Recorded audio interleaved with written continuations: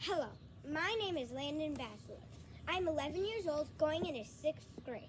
Other than piano, I play soccer, baseball, and acting. I'm currently Puss in Boots in Puss in Boots.